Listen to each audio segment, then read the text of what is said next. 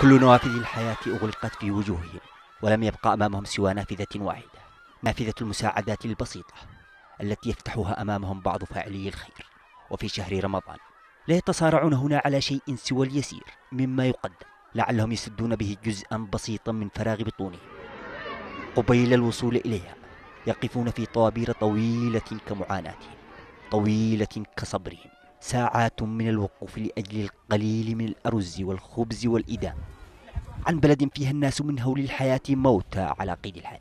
تقول المنظمة الأمم المتحدة للأغذية والزراعة أن أكثر من نصف عدد سكانها يعيشون في مرحلة الطوارئ من حيث الأمن الغذائي حيث أن ما يصل إلى 70% من السكان في بعض المحافظات يجدون صعوبة في إطعام أنفسهم كما يعيش سبعة ملايين في مرحلة أدنى من الطوارئ من حيث الأمن الغذائي.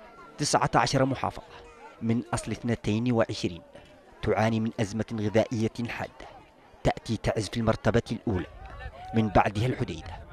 الممثل المقيم للأمم المتحدة في اليمن قال في مؤتمر صحفي عقده في الآونة الأخيرة إن أكثر من 13 مليون يمني على الأقل بحاجة ماسة للمساعدة الإنسانية الفورية المنقذة للحياة في ظل أوضاع إنسانية صعبة تواصل التدهور مع استمرار تقييد الواردات. وعدم قدرة سفن شحن كثيرة على تفريغ حمولتها في الموانئ. ويتوقع أن يؤثر عدم الاستقرار المستمر بشكل كبير على الإنتاج الزراعي المحلي والتسويق. قديما قيل إن الجوع كافر ولكن من المؤكد أن هذا الكافر لن يقتله إلا من سيزرع السنابل لا من يزرع الألغام والقنابل.